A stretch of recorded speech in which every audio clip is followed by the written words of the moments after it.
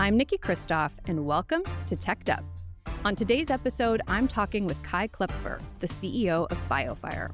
His startup has designed a smart gun that can only be fired by an authorized user. We talk about the deep tech it takes to lock a gun using biometrics, like your eyes, palm, or fingerprints. BioFire's mission is to prevent kids and teens from finding and firing a handgun. And as a gun owner myself, I'm super interested in how this tech can be a better option. Even if you aren't in that category, it's worth a listen to understand how smart guns can help keep kids and teens just a little bit safer. Today, I'm happy to have remotely joining us Kai Kloepfer. Welcome. Thanks for having me, Nikki. So, Kai is a fascinating entrepreneur in tech.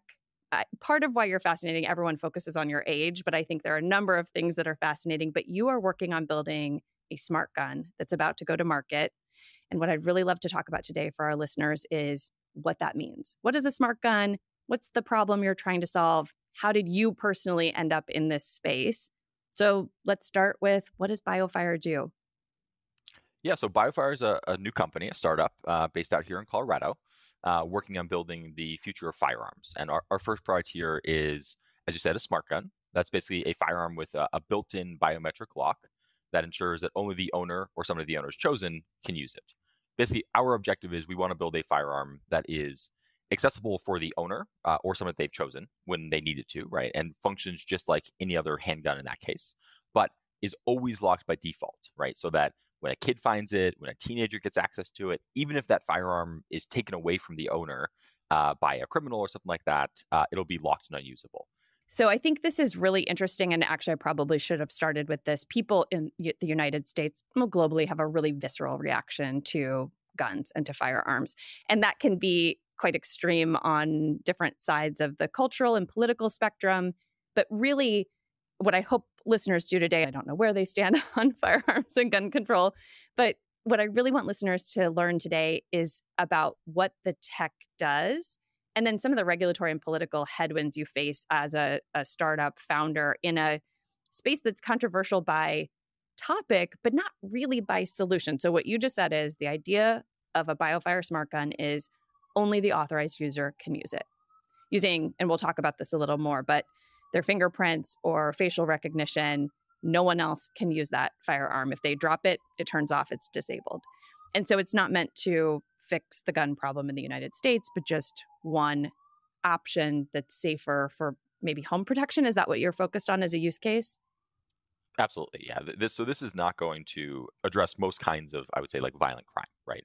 Mass shootings, other sort of like criminals and folks that are deliberately committing, you know, bad actions. This does not prevent bad actors, right? What it does is help equip, you know, well-intentioned gun owners, right? I, have talked to thousands of gun owners over the 11 years I've been working on this, and I'm one myself, and and not once have I ever heard somebody say, "Oh, yes, I, I want my kid to be finding my gun when I'm not home." In a lot of ways, this is something that we see as, as kind of an obvious solution, at least at a theoretical perspective, right? Like, why wouldn't you want a firearm that only works uh, for the owner? In practice, that's very, very challenging, right? There's a lot of technical hurdles. I'm by no means the first person to have thought about the concept of a smart gun, right? James Bond has one, you know, Judge Dredd has one. It's been in uh, science fiction and, and fantasy for pretty much forever. But at the same time, uh, the key thing that nobody before BioFire has ever really gotten right is the reliability piece, right? Building a firearm that is truly always accessible to the owner and is never going to be accessible to their kids. And so that's where a lot of the challenge comes down. And so, yeah, to your question, we've chosen to focus very much on home defense. I think this is the use case and, and the area where, you know, one, the vast majority of folks that are just starting to get into firearms or maybe buying their first firearm who uh, unfortunately as well intentioned as they may be, tend to have the highest rate of, of accidents uh, just because they're less experienced. It's also where uh, kids, teenagers, sort of other vulnerable populations have by far the highest degree of access to a firearm. And so that's definitely the area we're focused on. And our first product that we, we just launched a few months ago is, is very optimized for that home defense use case. In fact, we've, from a product design uh, development perspective, we've made a whole bunch of decisions that we believe, you know, through our user research and through our internal kind of uh, analysis, will make it a better product for that user and that use case, even if it makes it less effective for other use cases. Right. And so you talk about reliability and it, it's interesting. I think I'm sort of the target audience, right? I would much rather have a handgun for protection that only I can use that's completely disabled if a kid or a stranger or a visiting teen is in my house than have them find it. And I think one of the realities is people who are very safety conscious, even if you're very safety conscious, for home protection, you know, you're supposed to keep it locked and your ammunition totally separate, but millions and millions of households, including the one I grew up in, did not do that. So you've got kids, like the reality is kids are living in houses where there are loaded firearms every single day. And this makes it clear for the parents and the owner and the neighbor that nobody's going to use that gun. Yeah, the, stat that I've seen most recently is the some public health researchers have estimated there's about 5 million children living in households with completely unsecured and loaded firearms. Most people end up with this sort of tension between wanting to do what, what everybody obviously agrees is a responsible thing, which is you know securing firearms in safes, you know, oftentimes storing ammunition and a gun in a different safe, right? Although those safety mechanisms tend to be, I think, less effective against many teenagers than probably a lot of people think they are. But still, like that's obviously the best practice thing to do at the same time in practice if that's why you're bringing a firearm to your home and, and potentially taking a greater risk of you know somebody getting access to it you're not in practice going to be able to get access to that firearm fast enough in an actual emergency. Exactly. So let's talk for a minute about your interest in this. So you actually started working on a smart gun as a teenager. Your company biofire is based in colorado which is also where you grew up. Tell us a little bit about your backstory and how you ended up starting this company but where your original interest came from yeah, so I've been working on smart guns in various formats for a little over 11 years now.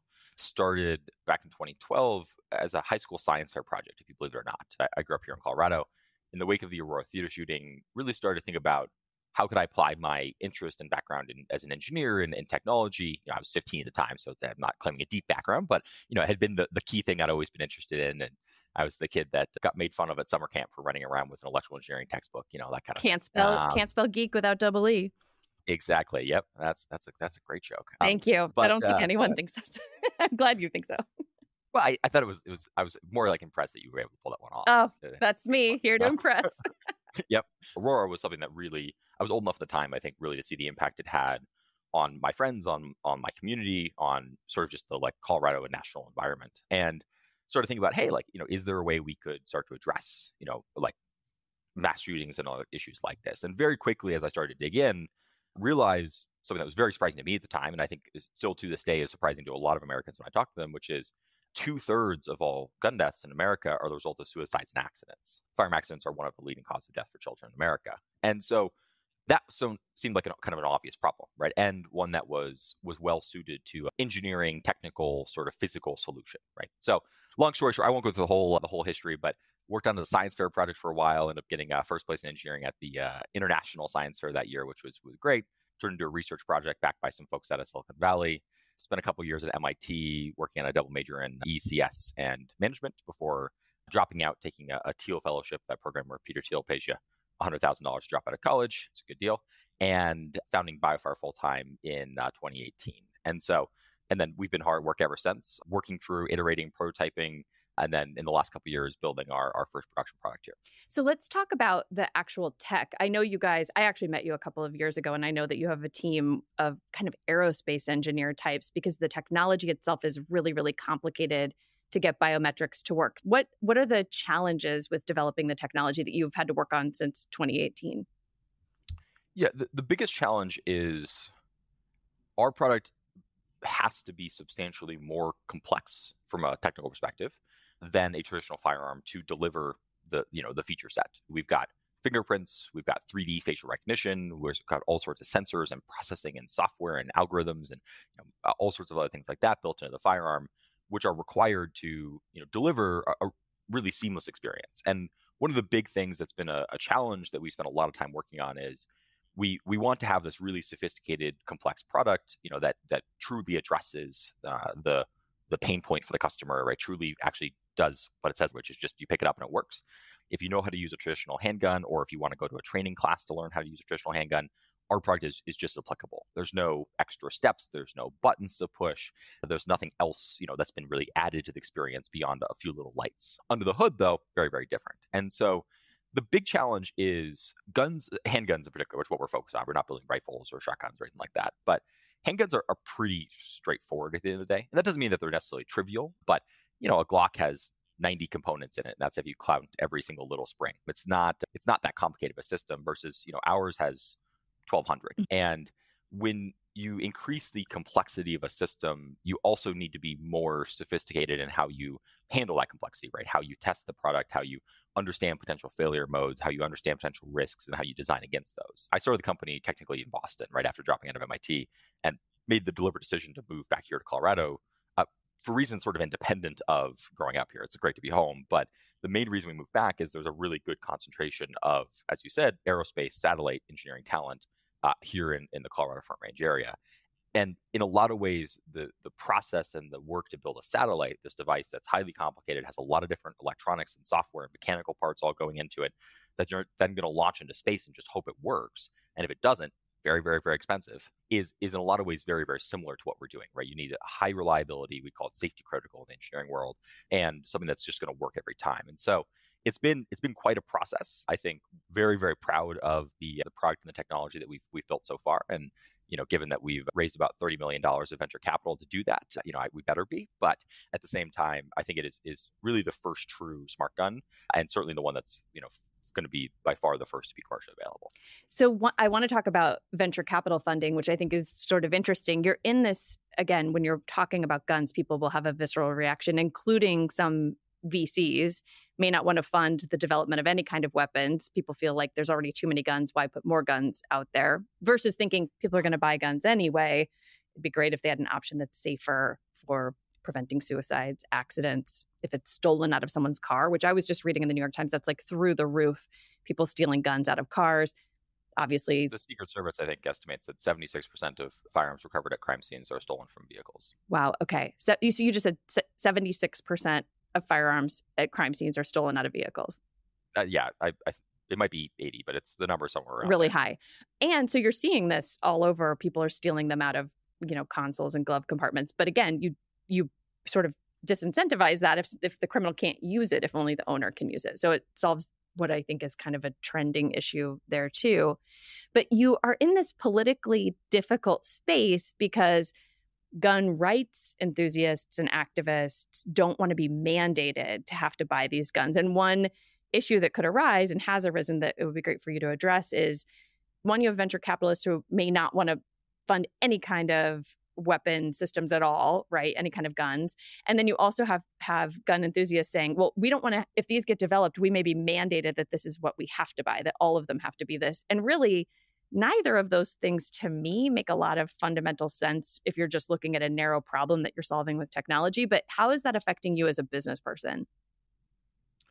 Yeah, so I think navigating the political and regulatory environment is certainly one of the, the kind of key things that we do here at BioFire. I, I, would say it would be naive to say that we we don't operate in, in, a highly politicized environment, right? We absolutely do. And and no matter what we do, no matter what we want to have to be true, the gun issue is just a major issue and it's going to stay that way. BioFire has as customers that are approaching this from all different perspectives, have all different uh, political positions, and you know one of the key sort of stances that we've taken is very much being focused on uh, issues that are, are directly related to our product, right, and uh, and to the our ability to serve our customers, as opposed to engaging, you know, more broadly uh, on a lot of issues. And as an example, uh, you mentioned mandates, right? I think that's a really good topic because we have actually taken a very strong stance against mandates for our technology. In fact, the lobbying that we've done, you know, uh, in DC as well as at the state level, has all been actually centered around pushing back against mandates and trying to educate regulators on, you know, why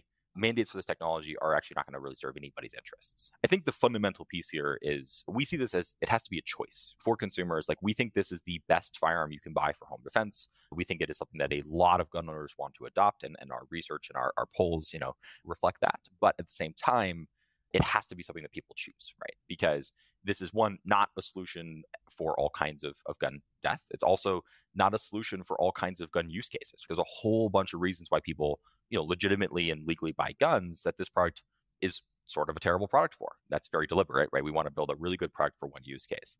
And having this be a choice, I think, is the only way this works. And that's something that we've engaged very strongly in New Jersey at the federal level and otherwise is is continuing to make this a choice. I think on the on the venture capital side, certainly for BioFire, you know, the pool of investors uh, that are even legally able, I would say, to participate in this space is, is certainly smaller. A lot of venture funds have some of their largest uh, LPs, the folks that have invested in that fund for the then the manager to be able to deploy that capital.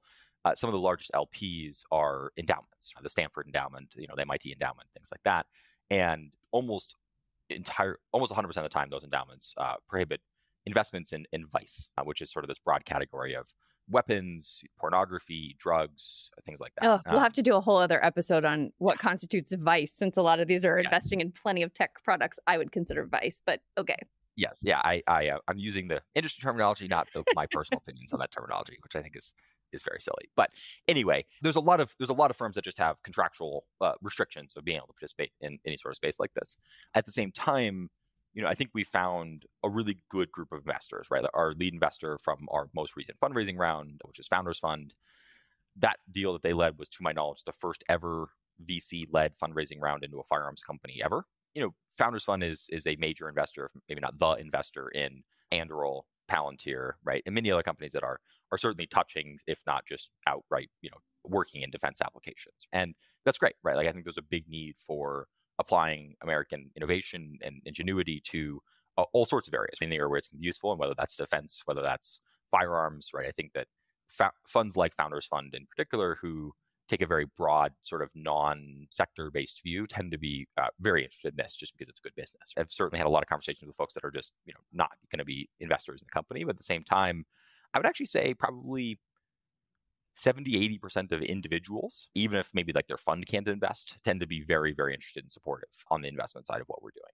I think that's good to know because I I also wonder if some of the investment headwinds I'm not saying for you specifically but this is true for anyone with a really complicated project. You mentioned satellites. It's so high intensity with r&d because you have to get it right. So it's years and years. It's not just an app you can launch in beta. It's hardware combined with software combined with you know you're testing for think i heard you saying this on on another show wet hands or maybe someone's wearing gloves which is why you would have facial recognition to duplicate the fingerprints. So it's very very complicated to get that engineering right and it has to absolutely work. So it's going to just be a longer time horizon until you're ready which you are now which i find really timely but you until you're absolutely ready to start selling these Absolutely, and, and I actually think that that that dynamic has been by far the the more challenging or impactful portion of fundraising as compared to the firearms piece. Hardware, and especially what I would sort of categorize as like deep tech hardware, uh, is the is the buzzword we like to use, which has that sort of dynamic of requiring a lot of upfront investment for generally a long period of time before there's a product available, and it doesn't have it doesn't fit a lot of the sort of traditional mosaic of like MVPs and, and beta products and be able to get things out really quickly and iterate in the wild.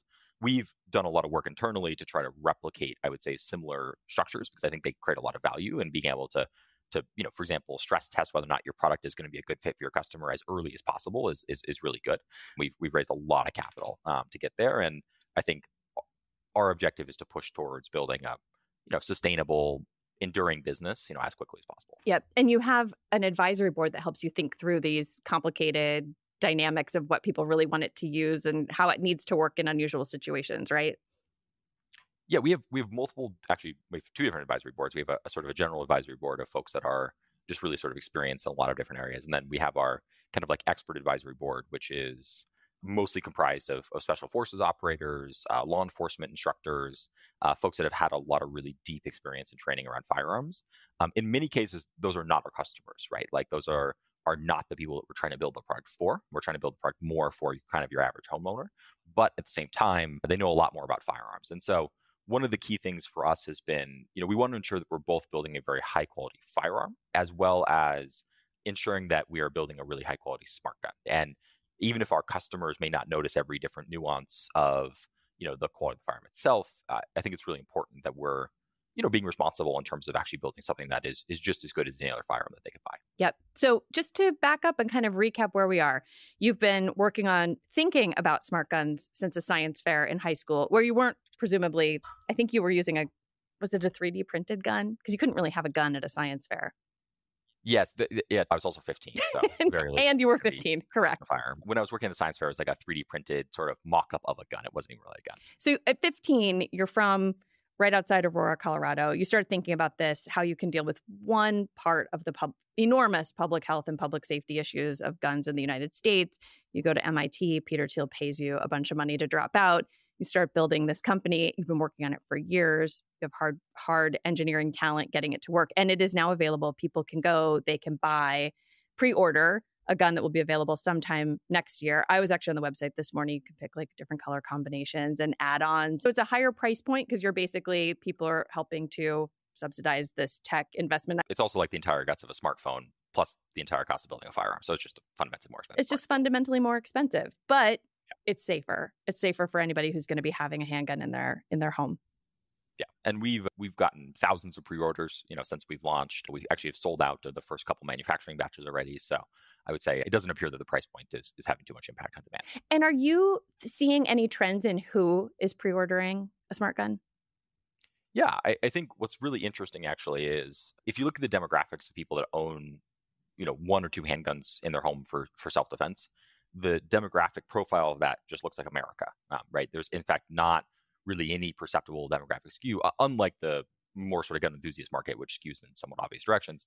The, the folks that are just buying a firearm as a tool really tend to just look like Americans, right? And I think that's been something that we've been really interested to see in our initial orders. Just you know, looking at like basic high level information is we've seen a very similar dynamic. Like California is our largest uh, state. You know, Texas and Florida are, are second and third. And from like a population adjusted perspective, we, we see concentrations in all the major you know urban centers of the country and reasonably population adjusted numbers but we also see like a good spread throughout the more rural parts of america and, and everything in between and that's exactly what we're looking for is we want to build a, a company and a brand and, and most importantly a product that really addresses the true need and i think that is in a lot of ways evidence of that so you'll find out more as you as you continue and get more market research, you'll find out more about who wants them. But I think it's fascinating that it just maps to the general demographics of the country. It's a very normal e-commerce experience. You configure your product, you create an account, all that kind of stuff. Right now, we're asking for that $150 refundable deposit. You can always refund that. You just lose your spot in line. And then as we get closer to uh, basically your manufacturing date, uh, we ask you to basically like put the rest of the payment down.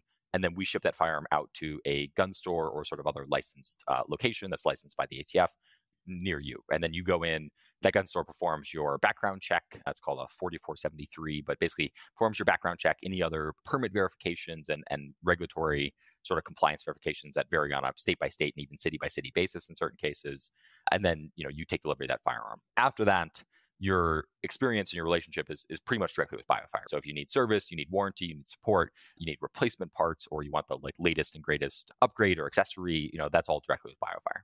Well, I appreciate how much care you've put into thinking through both the purchasing process and the design of the firearm and the and the narrow but incredibly important solution to a problem which is suicides, accidents, kids getting close to guns. It's a really smart solution to a challenge that does have a, a technical fix, hopefully, and this can make a dent in that.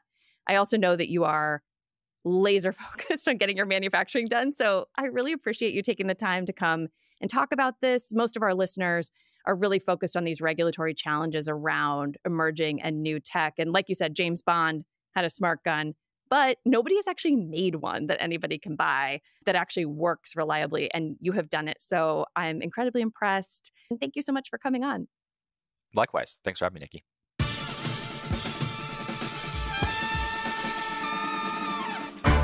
On the next episode of Teched Up, we're starting a whole new thing.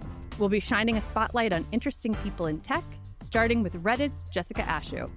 She joins the show from the Bay Area to talk about her path from Oxford to Abu Dhabi to Silicon Valley. And for our cat lover listeners, I'll be recommending some subreddits you can't live without. You're welcome in advance.